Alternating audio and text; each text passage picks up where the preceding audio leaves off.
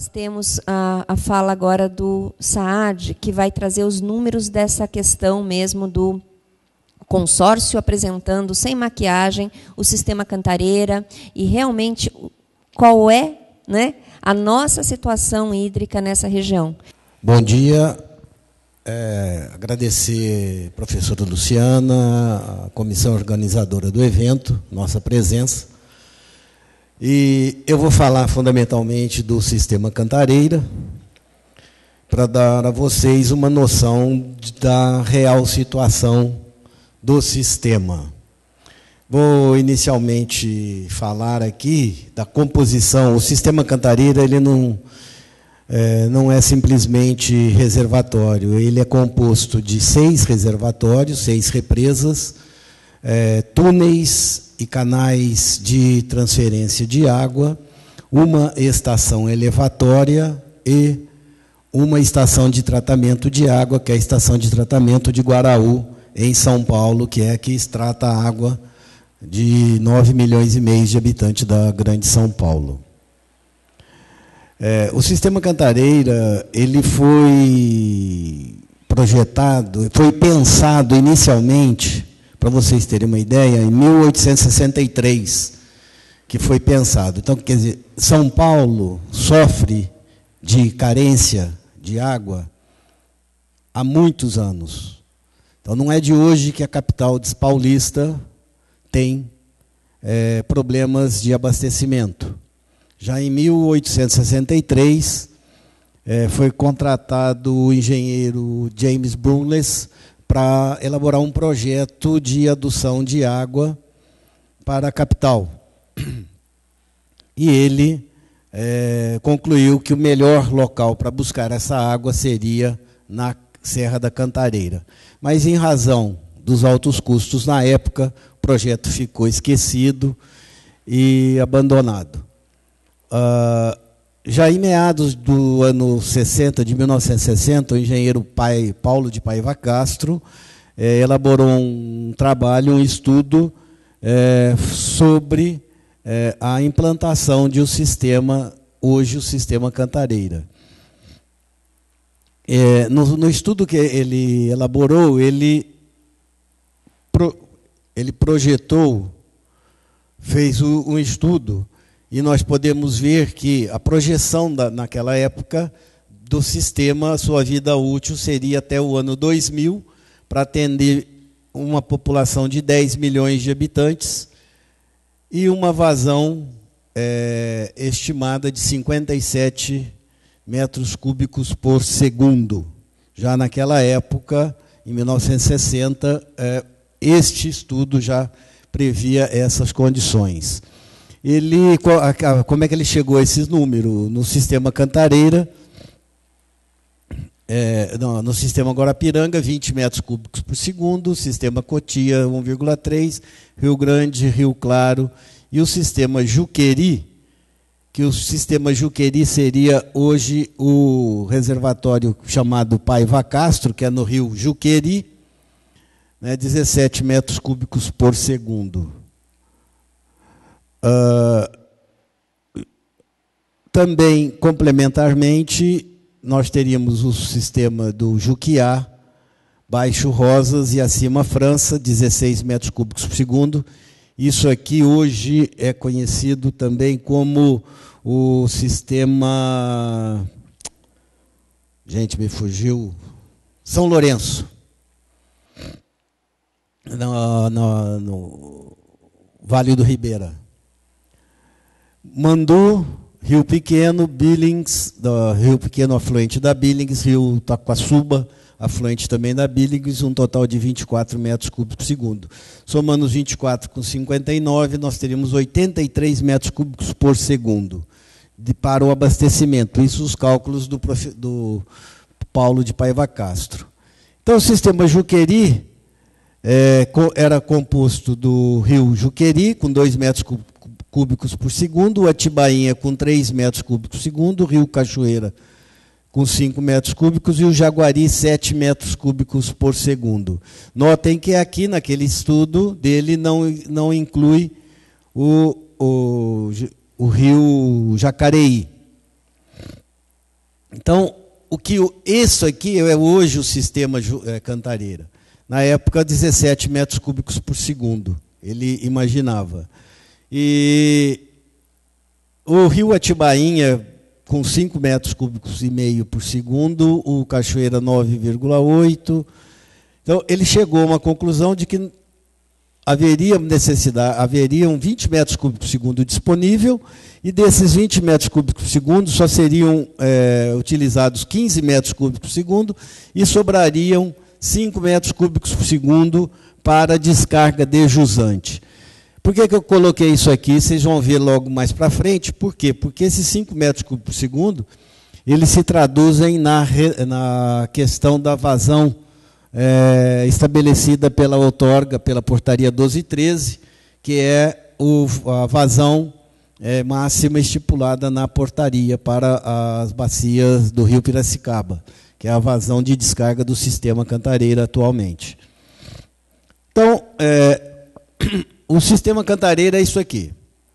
Como o Oscar já, já falou para vocês, nós temos numa cota mais elevada, as represas dos rios Jaguari e Jacareí, que transfere água por um túnel para a represa do rio Cachoeira, que transfere água por um túnel para a represa do rio Atibainha, que através do túnel 5, esse túnel 5 é o, é o túnel que transfere água da bacia PCJ para a bacia do Alto Tietê.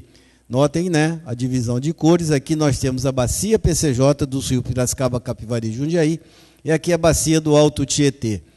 Aqui na, na represa Paiva Castro, nós temos a estação, logo mais ajusante, a estação elevatória Santo Inês, que transfere água para a represa Águas Claras, elevando em, em torno de 127 metros de altura a água para a represa, que daqui vai para a estação de tratamento e da estação distribuindo em São Paulo.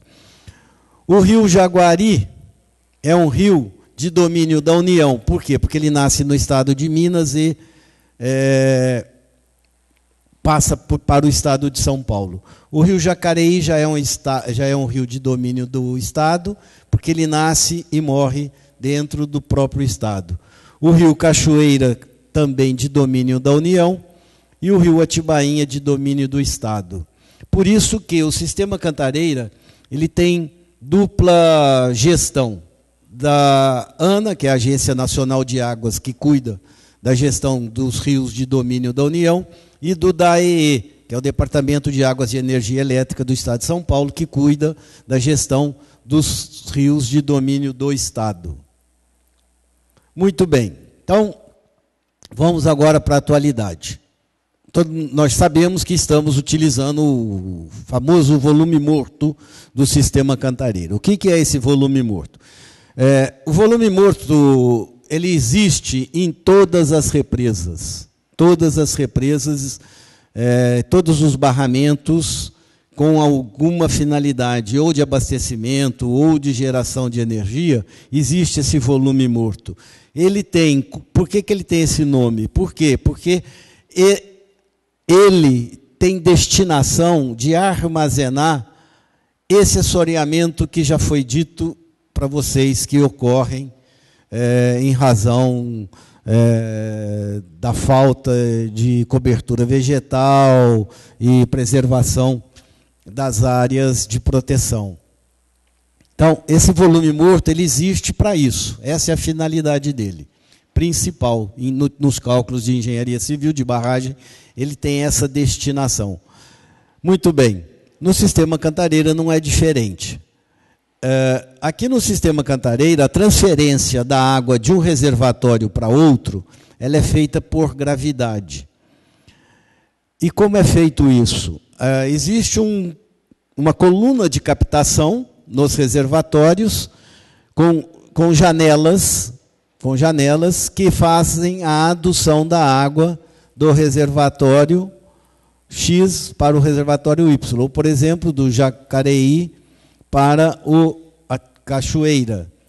Uh, os reservatórios Atibainha e é, melhor dizendo, Jaguari e Jacareí não tem túnel. Na realidade, é um canal de ligação, porque eles estão, a água deles está no mesmo nível. Então, é um canal que foi aberto em rocha e solo, é uma, eh, de ligação. Então, a água entra por essas janelas dessa coluna e vai para o, o, o, o túnel. O volume útil do sistema equivalente, o que é o sistema equivalente? O sistema equivalente ele é representado aqui pelas represas Jaguari, Jacareí, Cachoeira e Atibainha, que são as represas que é, barram os rios da bacia PCJ. Então, isso é o que interessa para a população da bacia PCJ. É o sistema equivalente, a água reservada nestes reservatórios, nessas represas. Então, o volume útil, ou seja, o volume da água disponível a ser utilizada nesse sistema, de 973,94 hectômetros cúbicos, ou seja, 973 milhões 940 é, mil metros cúbicos de água. O volume morto 1, por que volume? Porque a part, abaixo dessa cota, a água não vem mais naturalmente para o outro reservatório. Então essa água toda aqui ela é considerada volume morto, porque ela não vai mais por gravidade para o outro reservatório. Aqui nós temos a descarga de fundo, né, que sai para o, o, os corpos d'água, para os rios. E nós temos aqui no volume morto 1, que foi estabelecido com 182 milhões de metros cúbicos, e no volume morto 2, 105 milhões de metros cúbicos. Esse número é o que a Sabesp utiliza. Porém, a ANA utiliza um outro número, que é de 100 milhões de metros cúbicos. Então, existe uma é, dissonância entre os números que a Sabesp informa e o que a ANA informa mas não é de muita. É, não, não interfere muito isso. Essa aqui é a foto daquela coluna que a gente viu, as janelas de adução, que recebem água. Isso aqui é lá na represa do Jaguari. O sistema Cantareira ontem apresentava esses dados, com vazões de afluência aqui no Jacareí, Jaguari, de 12,8 metros cúbicos por segundo, é, e assim por diante. O sistema equivalente, é, esse número aqui, 22,5 metros cúbicos por segundo, ontem. O ano passado ele apresentava 5,85 metros cúbicos por segundo. Nós, esse, nós tínhamos, em compensação, nós tínhamos 8,5% do volume útil. Aqui nós estamos com 19% do volume total considerando volume útil e volume morto. Ou seja, nós vamos ver lá para frente, nós estamos em torno de 10% negativo. Com vazões para jusante de 2 metros cúbicos segundo, aqui o ano passado era 3. Uma vazão de transferência para São Paulo de 6,59 metros cúbicos segundo. Notem que aqui, ó, esse túnel 5, isso aqui que é o nosso ponto que deverá ser, que precisa ser o nosso ponto de controle do sistema Cantareira.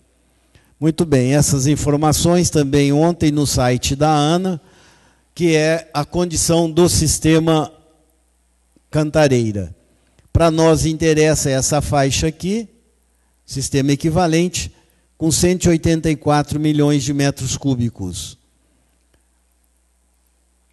dos quais nós temos aqui daqueles 283 milhões de metros cúbicos do volume morto, já foram consumidos 110. É, as chuvas que aconteceram no início do ano, principalmente fevereiro e março, ajudaram muito na recuperação do sistema, que nós vamos ver mais para frente um pouquinho. Olha só. É, esta curva em verde é a vazão de entrada de água média ao longo do tempo. Tá? Ou seja, a média histórica de vazões afluente ao sistema. Nós temos aqui, nessa curva aqui, tracejada em azul o ano de 1953, que até então tinha sido o ano mais crítico de seca, de vazões afluentes ao, ao sistema, se bem que naquela época não tinha sistema, mas os números eram contabilizados. É, então, a vazão foi em 1953. Em marrom, o ano de 2014. Essa curva cheia aqui em azul já é o ano de 2015. Nós vemos aqui que janeiro de 2015, as vazões afluentes ao sistema equivalente foram inferiores, inclusive, ao ano de 2014.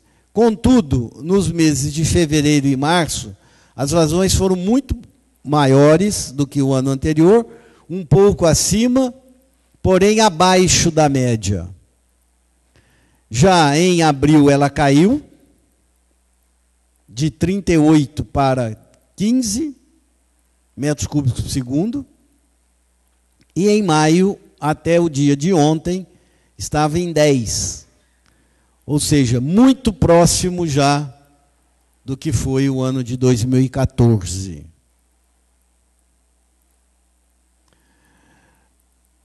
O volume do sistema, do sistema equivalente, é, eu apresento aqui para vocês o seguinte. São dados do dia 8, eu peguei porque esses números de ontem eu só consegui, na realidade, ontem à noite, porque só foram disponibilizados nos sites, tanto da, da Ana, é, somente à noite, e a, a apresentação já estava pronta e eu esqueci de alterar isso aqui. Mas serve como base. No dia 8 de 5 de 2013, o volume útil do sistema equivalente era de 603 milhões de metros cúbicos, ou seja, quase 62%. Se nós somarmos esse volume ao volume morto, nós teremos 886. O ano passado, na mesma data, nós tínhamos apenas 88 milhões de metros cúbicos, ou seja, 9% do volume útil. Se somarmos ao volume morto, 371.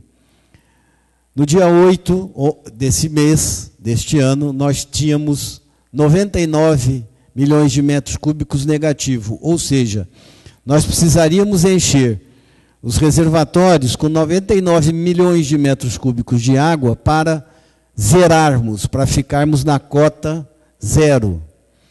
Ou seja, nós estamos com 10,2% do volume útil negativo.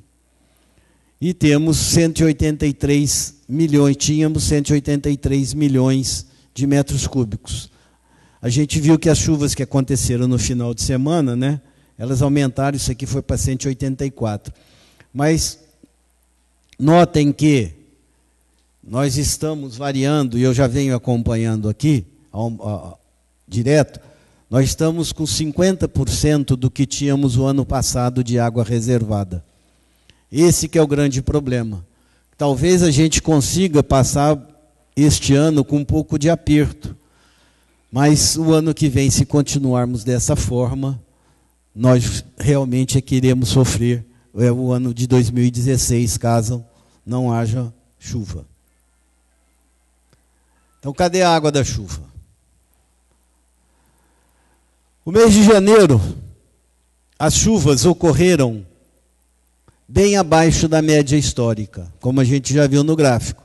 Os pontinhos em vermelho a média histórica, e esses são os municípios monitorados aqui na bacia do PCJ. Amparo, Atibaia, Bom Jesus dos Perdões, Capivari, Campinas e tal. Já no mês de fevereiro, apenas um município é, ficou abaixo da média histórica, Jundiaí mas muito próximo também. Todos os outros municípios ficaram acima da média histórica. Já em março, a maioria ficou acima da média. Contudo, já apareceram outros municípios fora da média e alguns, como aqui Amparo, até bem fora da média, bem distante, bem abaixo. E uma coisa precisa ser notada que Campinas, nos meses de janeiro, fevereiro e março, teve um acumulado de 700 milímetros de chuva. Ou seja, praticamente 50% do que cairia o ano todo, na média, nós tivemos nos três primeiros meses do ano. Isso que é interessante. Porque, por isso que a gente, aqui na, na região de Campinas e tal, não sofreu muito. Porque as chuvas que caem na bacia auxiliam, como a grande maioria faz captação a fio d'água, nos corpos d'água. É, então os rios estavam cheios, então não teve problema de captação, de abastecimento. Já no mês de abril, eu não sei. Esses gráficos aqui eu tiro da sala de situação PCJ. Como ainda não foi disponibilizado o mês de abril e eu não sei fazer esse tipo de gráfico, não consegui, tentei, mas eu sou meio analfabeto nisso, então eu fiz um que eu sabia fazer. A média em vermelho, o, o ocorrido em 2015 em azul. Já no mês de abril, nós podemos ver que, com exceção aqui de Extrema, todos os outros municípios tiveram chuvas abaixo da média. Atibaia muito abaixo da média, Amparo, Extrema não, extrema, é extrema que teve mais, teve acima da média.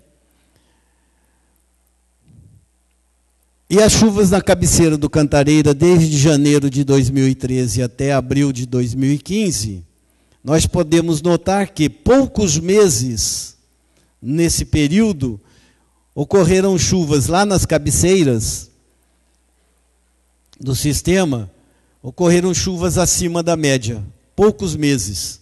Nós podemos notar aqui, no mês de fevereiro de 2015, que foi o que deu a maior diferença. Olha a quantidade de chuva. Por isso que o sistema deu uma recuperada. Poderia ter continuado assim, né? mas não aconteceu. E a afluência do sistema, ou seja, a quantidade de água que entra no sistema, também de janeiro de 2013 a abril de 2015, foi bem abaixo da média. Em todos os meses. Não teve um mês que a afluência chegou próximo da média das vazões de afluência ao sistema. No mês de maio, no mês de maio, como é que nós estamos? Nós podemos ver que isso aqui já é, foi é, no dia 11, isso. No início do dia 11, ou seja, os dez primeiros dias do mês. Se nós fizermos uma correlação, é um terço do mês, então teria que estar em torno de 33% da média, para ficarmos na média. Nós podemos notar que a maioria aqui deu mais. Por que isso? Por conta das chuvas que aconteceram no final de semana. Se nós pegarmos essa tabela é, no dia 8, como eu tinha, nós vamos notar que está tudo abaixo da média. Mas as chuvas que aconteceram esse final de semana deram uma melhorada. Tomara continue assim.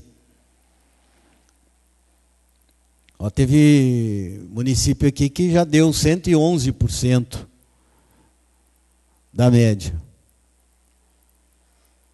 Muito bem. Agora falar para vocês uma coisa que é, é uma situação real já instalada e implantada, que é uma resolução conjunta ANA e da EE, que estabelece restrição de vazão de captação em águas superficiais. Essa resolução foi é, muito discutida em toda a bacia, porque ela abrange ah, as captações superficiais nas bacias do rio Atibaia, Camanducaia e Jaguari. É, e afeta a maior parte da população aqui da bacia PCJ. E as principais cidades, como Campinas, por exemplo. E essa resolução está valendo a partir do dia 21 de janeiro deste ano. E ela diz o seguinte: a partir de um determinado, de uma determinada vazão que o rio estiver, as empresas de saneamento ou uh, uh, aquelas que fazem distribuição de água para a população, para uso urbano, terão restrição de 20% na sua captação diária. As indústrias e a agricultura terão restrição de captação de 30% nas suas, eh, nos seus volumes diários de captação. Até agora, nós tivemos, no início de, da implantação dessa resolução, no mês de janeiro, e agora, semana retrasada, estados de alerta, porque ela estabelece três níveis: sem restrição, estado de alerta e estado de restrição. Muito bem. Essa aqui é, são, é, é a bacia do rio Atibaia, do rio Jaguari e do rio Camanducaia. E os pontos de referência onde serão feitas as medidas, as leituras das vazões nos rios, são esses aqui. Ponto 1, um, a captação Valinhos. Ponto 2, acima de Paulínia. E ponto 3, Dalbó, no rio Camanducaia. E ponto 4, no rio Jaguari, na foz do Jaguari.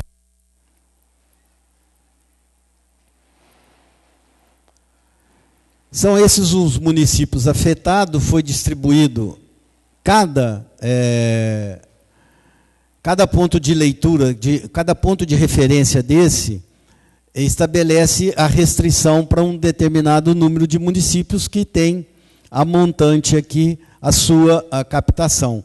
Se a vazão aqui for é, é, dentro da vazão de restrição, os municípios que fazem aqui para cima captação terão que restringir as suas captações.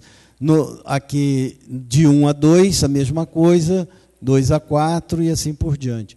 Nós teremos sempre a, a, as restrições. Então, são os municípios afetados, Atibaia, Bom Jesus dos Perdões, etc.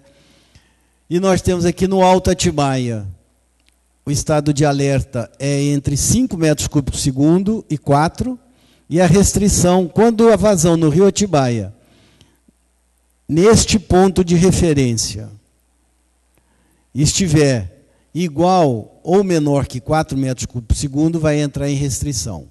No baixo Atibaia, quando for igual ou menor a 3 metros e meio, vai entrar em restrição. No rio Camanducaia, lá em Dalbó, a restrição é vazão, vazões iguais ou menor a 1,5 metro e meio por segundo. No rio Jaguari, menores ou igual a 2 metros cúbicos por segundo. O montante cantareira, para nós, não interessa muito que para baixo, né? mas afeta Bragança Paulista, Camanducaia, Extrema, Itapeva, Joanópolis, Piracaia, Sapuquari, Mirim e Vargem, que é igual ou menor, menor a 2 metros cúbicos por segundo. É, eu fiz essa tabelinha aqui para a gente ter uma noção de como está a situação naqueles pontos de referência. É, em abril de 2014, a captação lá no, no Atibaia, na captação Valinhos, a vazão média, em abril de 2014, foi de 13. 2015, 10. A média, 21. Atibaia, acima de Paulínia, 12 e 32. Não tem esse dado. Não, não está disponibilizado do mês de abril. Sendo que a média é 30. Camanducaia Dalbó, vazão média 5. Abril 3,41. A média de 15. Jaguari na Foz 15,26 em abril é, de 2014, 15,54 contra a média de 48. No mês de maio, 7,48 em 14, 5,09 até ontem, né? Acima de Paulínia, 5,48, em 14, 5,33. Somente aqui no Rio Camanducaia é que nós tivemos um aumento na, na vazão, de 1,66 em 2014 para 2,6. Mas em compensação, olha a diferença que nós estamos tendo aqui, né? Jaguari na Foz, 5,95 contra 8 e 54 contra 33 na média. O que significa isso? Significa que nós estamos próximos, bastante próximos, porque nós vamos agora realmente entrar na época de estiagem, onde as chuvas é, vão cada vez mais ficarem escassas e nós teremos essas vazões reduzidas e deveremos entrar em restrição muito em breve a continuar dessa forma. Então nós vamos aqui para os nossos cenários. O que, que é isso aqui? Isso aqui eu fico traçando cenários, imaginando, dentro dos milhões e milhares de milhões que podem existir. Eu considero o volume atualizado do sistema equivalente. Eu suponho uma vazão de descarga total, ou seja, aquela que é transferida para São Paulo, mais a que vem para as bacias PCJ. Opa. É, e considero o, uma vazão de afluência. Uh, um percentual da vazão de afluência. Nesse caso aqui, eu considerei 50% da média, da vazão de afluência média. Então, nós já estamos é, com 184 milhões de metros cúbicos, estávamos ontem, hoje deve ter subido um pouquinho.